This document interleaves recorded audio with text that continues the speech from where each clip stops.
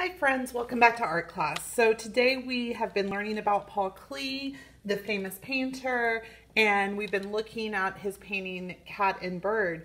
And today we're going to make our own version of Cat and Bird.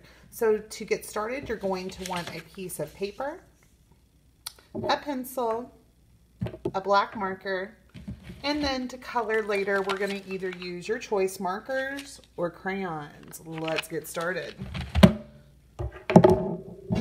So friends, the first thing we're going to do is we are going to make a kind of like a W shape. So starting on one side, we're going to have a straight line going down.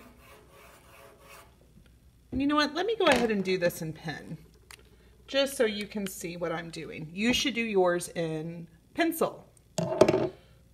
Here we go. So I'm going to have one line going down this way. Perfect. We're going to have it come up a little bit. Kind of looks like a W shape. This line will come down. We're going to start it.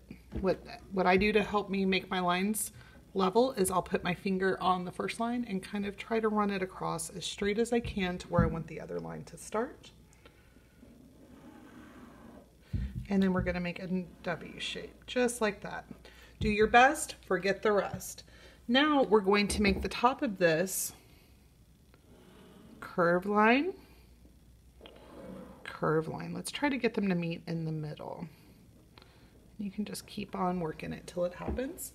Then we're going to take this line and go all the way down. And then we're going to take this line and go all the way down. Just like that.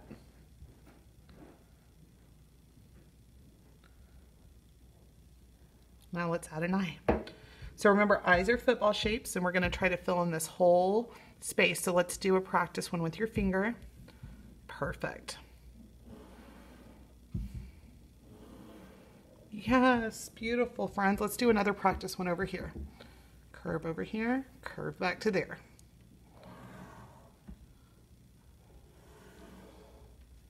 Yay!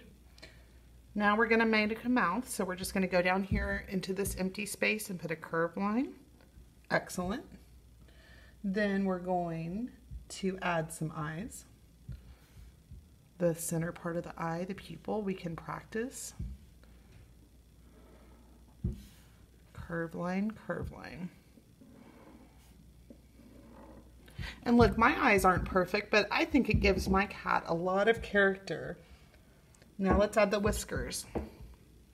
Or whisker, oh, let's put a heart shape in for the nose. Did you notice the heart shape on the original one? I did. Ooh la la. Let's put some more on, on this side. Let's practice. Beautiful. We always want to practice with our fingers if we're not feeling very secure in what we're doing. Like we're, if we're afraid we're going to make a mistake, try with your finger first. Now let's add the bird up top. So I'm going to pick a line like a fish, kind of like that. Then I'm going to add a leg and another leg, make that into a triangle, and a shape for the head, and the beak, and an eye. And there is our Paul Klee cat and bird drawing.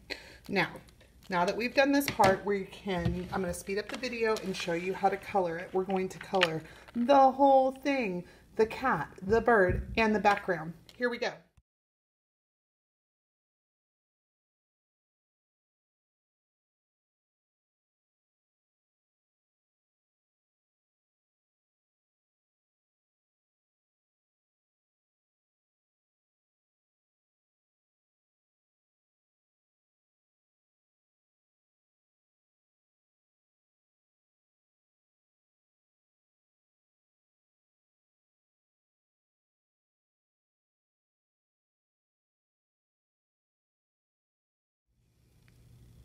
All right, friends, here is my finished Paul Klee cat and bird drawing.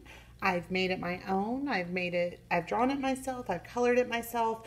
If you were using the pencil though, I one thing I forgot to mention is you might want to outline your drawing with a marker when you are done so you can see all your beautiful lines like you can see my pen lines here. So trace your pencil lines when you're finished. Color nice and neat. Stop at the stop signs. Make it however you want. I want to see how you make this picture your own picture. So put your own personality in it, and I can't wait to see them.